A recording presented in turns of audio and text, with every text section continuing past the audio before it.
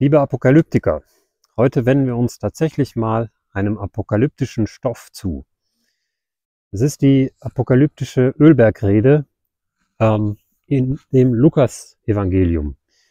Und ähm, ich betrachte das Evangelium als eine eigentlich versiegelte Schrift, die, die man nicht einfach so nur oberflächlich lesen kann. Also dann kann man sie zumindest nicht verstehen. Man hat gewisse Ideen oder Gedanken oder Empfindungen.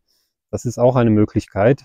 Aber wenn man sich mit dieser Materie etwas tiefer beschäftigen will, ähm, dann äh, sollte man das ähm, sorgfältig tun und eben ja, lesekundig werden. Das ist ein lebenslanger Prozess. Also es setzt esoterisches Wissen eigentlich voraus und natürlich auch ähm, einen gewissen historischen Hintergrund und eben Lebenserfahrung, ganz konkret.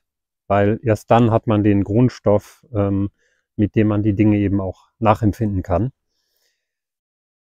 Also die apokalyptische Ölbergrede, hier in einer besonderen Übersetzung, ähm, die hilfreich ist, um die Inhalte zu entschlüsseln. In dem Fall übersetzt von Emil Bock. Einige sprachen über den Tempel, wie schön er doch mit kostbaren Steinen und Weihegeschenken geschmückt sei. Da sprach er, ihr beachtet nur, was ihr mit Augen schaut. Es werden aber Zeiten kommen, da wird kein Stein mehr auf dem anderen sein, alles fällt der Zerstörung anheim. Also es beginnt recht heftig und in unserer Zeit ähm, muss man vielleicht diese, diesen Text so ein bisschen dem historischen Kontext, ähm, müssen ihn davon gewissermaßen befreien. Wir müssen in der Lage sein, die ewigen Inhalte von dem äh, zeitlich gebundenen historischen Gewand ein bisschen zu unterscheiden.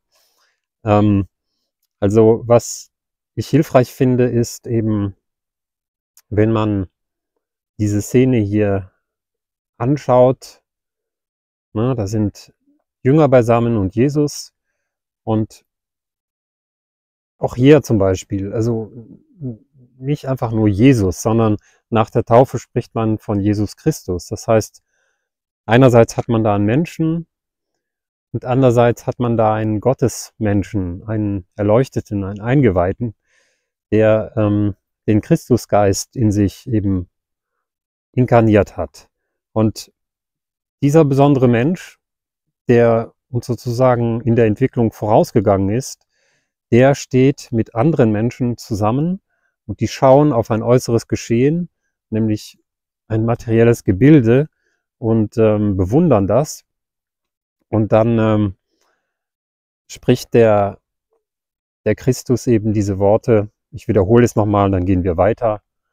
Einige sprachen über den Tempel, wie schön er doch mit kostbaren Steinen und Weihgeschenken geschmückt sei. Da sprach er, ihr beachtet nur, was ihr mit den Augen schaut. Es werden aber Zeiten kommen, da wird kein Stein mehr auf dem anderen sein. Alles fällt der Zerstörung anheim. Und sie fragten ihn, Meister, wann wird das sein? Und an welchen Zeichen sollen wir erkennen, dass es heranrückt? Er sprach, Gebet acht, dass euch niemand auf einem falschen Wege führt. Es werden viele kommen und in meinem Namen sprechen, ich bin. Und es ist an der Zeit. Folget ihnen nicht. Dann werdet ihr Lärm und Getümmel vernehmen von Krieg. Und Aufruhr, lasst euch keine Furcht einjagen. Es ist notwendig, dass dies alles geschieht. Aber das Ziel ist damit noch lange nicht erreicht. Und er fuhr fort, ein Teil der Menschheit wird sich gegen den anderen erheben und ein Reich des Daseins gegen das andere. Große Erdbeben, Epidemien und Hungersnöte wird es an allen Orten geben. Mächtige, aufregende Erscheinungen wird man am Himmel sehen. Vorher aber wird man Hand an euch legen, man wird euch verfolgen und an Lehrhäuser und Gefängnisse ausliefern und von vor Könige und Statthalter schleppen, um meines Namens willen. Also, vielleicht hier noch kurz, um meines Namens willen. Was kann das eben heute heißen?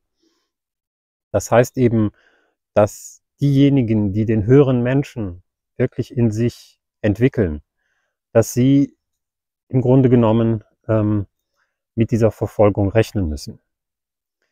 Dann wird es an euch sein, Zeugnis abzulegen. Prägt euch aber ins Herz ein, dass ihr euch keine Sorge wegen eurer Verteidigung machen sollt. Von mir werdet ihr empfangen, sowohl die Sprache als auch die Weisheit, der keiner von allen euren Widersachern widerstehen oder auch nur widersprechen kann. Auch von Eltern und Brüdern, Verwandten und Freunden werdet ihr verraten werden. Zahlreiche aus eurer Mitte wird man töten und von allem werdet ihr gehasst werden, um meines Namens willen. Aber kein Haar von eurem Haupte soll verloren gehen. Durch geduldige Tragekraft werdet ihr euch dann erst wirklich selber finden. Wenn ihr dann Jerusalem von Heereslagern umzingelt seht, dann wisset, dass die Zeit ihrer Zerstörung gekommen ist. Dann sollen alle, die in Judäa sind, auf Bergeshöhen fliehen und in die Stadt, und die in die Stadt, und die in der Stadt sind, sollen herausgehen, und die aus, auf freiem Lande sind, sollen nicht in die Stadt gehen. Denn dann sind die Tage der höheren Gerechtigkeit gekommen. Und alles, was in der Schrift steht, findet seine Erfüllung.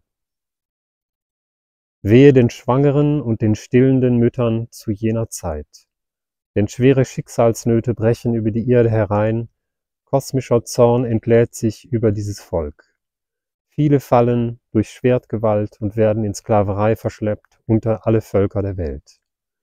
Und Jerusalem wird zerstampft von den Heiden bis auch die Zeit der Heiden erfüllt ist.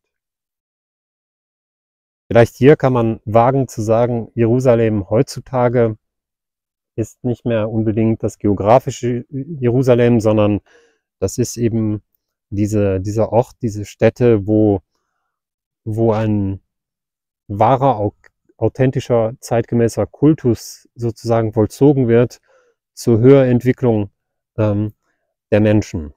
Also das, das kann man so ein bisschen ähm, herauslösen, wie gesagt, aus dem geografischen und geschichtlichen Kontext.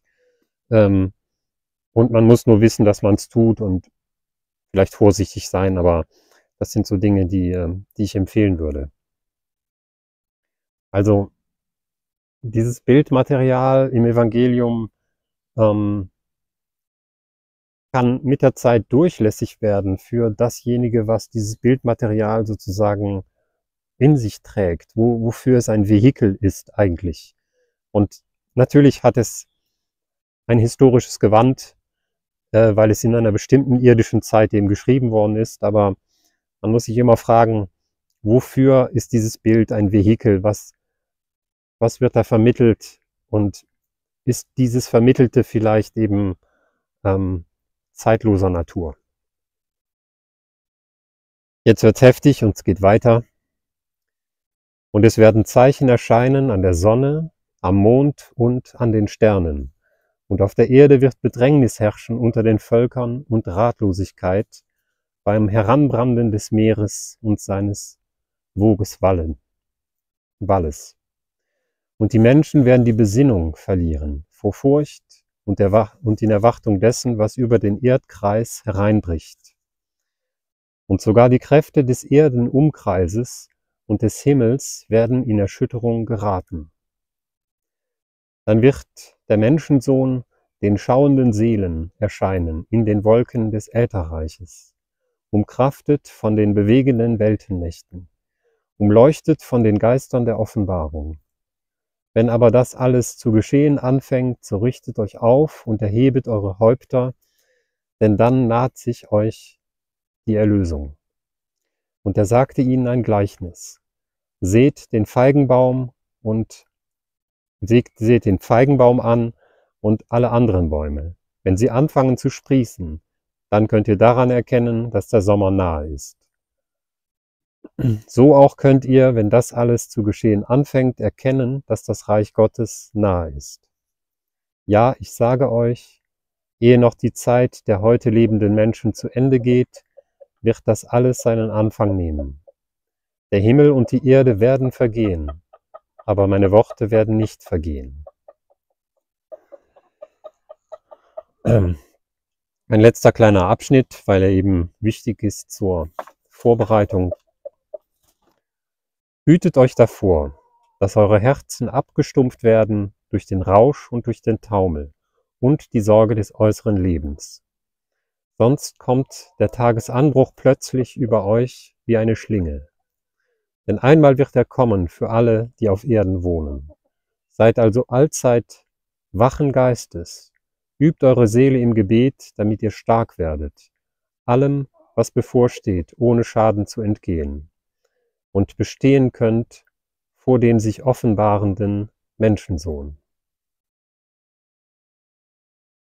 Ja, soweit der Text erstmal.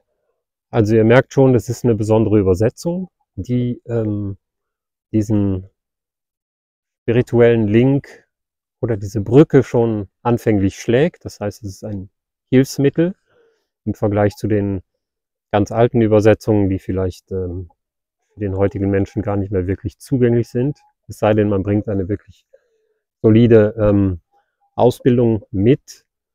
Aber dann ist wiederum die Gefahr, dass man zu formatiert ist in seinem Wissen und dann ähm, vielleicht gar nicht mehr diese seelische Jungfräulichkeit mitbringt, die eben für diese Inhalte auch gewissermaßen eine Voraussetzung ist. Ja, vielleicht soweit dazu.